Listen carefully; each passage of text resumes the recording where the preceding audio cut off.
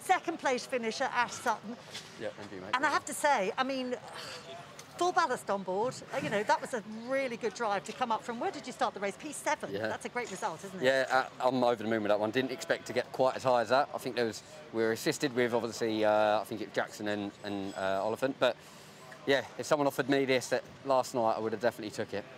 Still a lot of work involved because you had Gordon in a much lighter car and on a softer tyre, basically in the position that you've been in race two, right behind you and pushing you hard. Well, yeah, it's not just the 75 kilos. there's- also that 30 kilos of ballast um, that a rear drive car has to carry. So ultimately, we're carrying around a good 100 kilos in the car compared compared to him, and he's on the soft. So yeah, I, I'm over the moon with that. I had to watch the mirrors a couple of times under the braking zones because that thing's that thing's good on the brakes. But yeah, I'm over the moon with that one.